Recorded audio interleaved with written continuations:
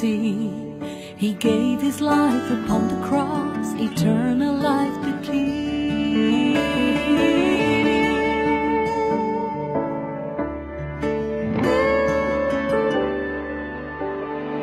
He broke bread and shed wine before his agony.